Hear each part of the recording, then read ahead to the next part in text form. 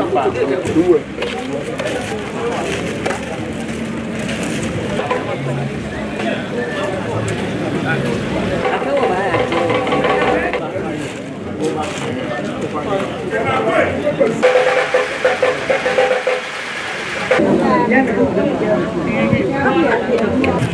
Uh, we got to take my time.